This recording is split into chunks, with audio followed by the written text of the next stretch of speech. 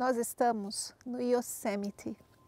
O Yosemite é um parque nacional que fica mais ou menos no centro do estado da Califórnia, nos Estados Unidos. E eu moro bem perto daqui, estou morando bem perto daqui e quero compartilhar um pouco daquilo que eu descobri nesse lugar que para mim é um dos paraísos da Terra.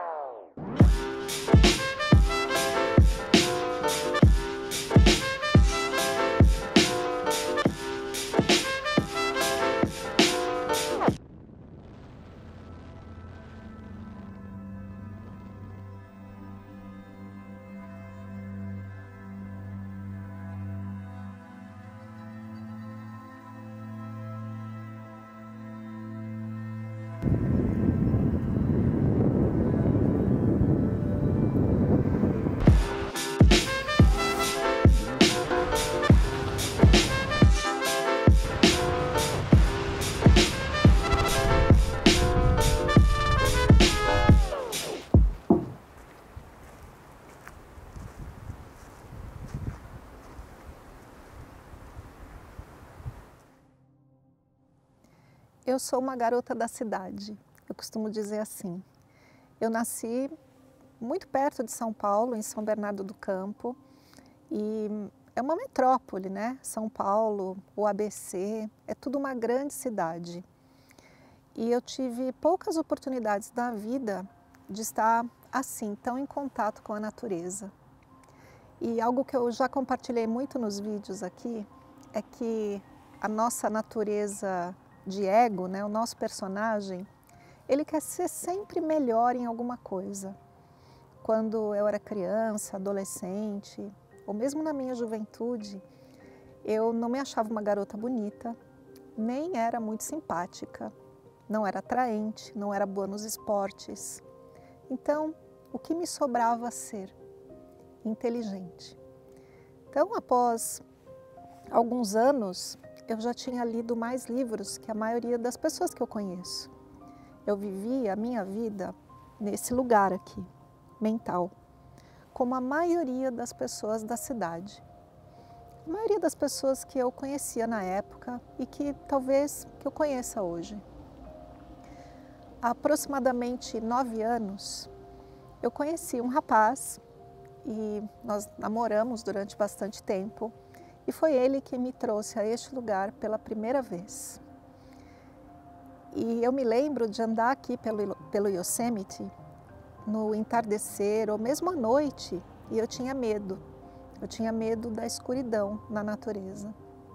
E eu dizia para ele: Eu sou uma garota da cidade. Será que aqui tem animais selvagens? E eu tinha medo das aranhas, eu tinha medo dos bichinhos que a gente vê por aqui. E eu não me conectava muito com a natureza. Eu não sabia o que a natureza tinha para me dizer. Eu entendia a língua dos homens, mas não o idioma de Deus que está, por exemplo, expresso nessas pedras aqui à minha volta. Com o tempo, eu fui me acostumando mais. E eu percebi uma coisa muito interessante no meu namorado. Ele, na época, sofria de depressão. E cada vez que ele passava umas horas aqui, às vezes o dia todo, ele voltava para casa muito melhor. Parecia que a depressão tinha sumido. Parecia que ele estava nele no novamente. Eu, com os meus livros, eu tinha toda uma interpretação para aquela depressão eu dizia na minha cabeça: ah, é porque ele está longe de Deus, é porque ele não está se conectando com ele mesmo e coisas assim. Com o tempo eu fui percebendo que isso aqui era a igreja dele, que ele vinha para cá e sentia as pedras, e sentia o vento, e sentia as árvores, e se conectava, se reconectava. Ao longo dos anos, todas as, toda aquela informação que eu tinha na minha cabeça foi se diluindo pouco a pouco. Ao longo dos anos eu fui percebendo que tanta informação, tanto conhecimento são apenas histórias na nossa cabeça. A gente de fato não sabe muita coisa. Então, muitas vezes eu estou em casa e pela manhã eu faço um pouquinho de yoga, alongamento, meus exercícios e às vezes eu ligo a TV em algum documentário. E ontem mesmo eu estava assistindo um documentário com Morgan Freeman chamado Onde está Deus, da Netflix. E ele mostrava diversas religiões e a visão dessas religiões para coisas como o Apocalipse ou a origem do homem, diversos conceitos religiosos. Ele mostrou o hinduísmo, o islamismo, o cristianismo, religiões antigas dos maias, dos egípcios. E eu assistia tudo aquilo e lembrava de mim, no meu passado, o quanto eu estudei tudo isso. E o quanto todo esse conhecimento me trazia tanta informação e a ideia de que eu sabia alguma coisa. Bom, ao longo desses anos, eu vim aqui a este parque inúmeras vezes e fiz caminhadas e andei de bicicleta e escalei montanha e fiz muita coisa aqui. E ao longo desses anos, pouco a pouco, tudo aquilo que eu sabia foi se tornando irrelevante diante de daquilo que essa natureza à minha volta me traz. Me traz de verdade aquilo que as religiões buscam trazer. Religião vem da palavra latina religare, ligar de novo. Eu, o homem, a criatura, ao Criador, a Deus, ou quem sabe a mim mesma. Se religião é isso, e todo aquele conhecimento que eu tinha não me trouxe nada além de mais ego e mais histórias na minha cabeça.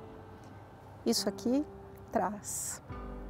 Porque eu toco a pedra e a pedra de fato, ela não me diz que está certa ou errada. Ela me aceita exatamente como eu sou. Eu às vezes ando por aqui e abraço as árvores. E as árvores me reconectam nessa força vertical a aquele que talvez tenha criado tudo isso aqui, a esse maravilhoso sonho terreno. Por isso, eu ouso dizer que hoje a minha religião é a natureza. Na natureza eu me sinto livre, na natureza eu sinto que os meus pensamentos se esvaziam. E hoje eu digo sim, eu sou uma garota da cidade, mas não mais. Eu fiz outras escolhas. E por isso resolvi compartilhar com você essas outras escolhas. Hoje eu moro perto daqui, a minha casa fica a 30 minutos aproximadamente da entrada do parque. O parque é muito grande, a gente está no meio do parque aqui agora. Estacionamos o carro ali, busquei essas pedras aqui para fazer esse vídeo. A gente vai visitar outros lugares aqui. Mas tomei essa decisão para mostrar para você um pedacinho a mais da minha vida. E eu nunca tinha pensado, na verdade, em fazer séries pelo mundo Yosemite porque, como eu disse, o Yosemite é bem perto para mim. E porque ele é perto para mim, eu quero fazê-lo perto para você também.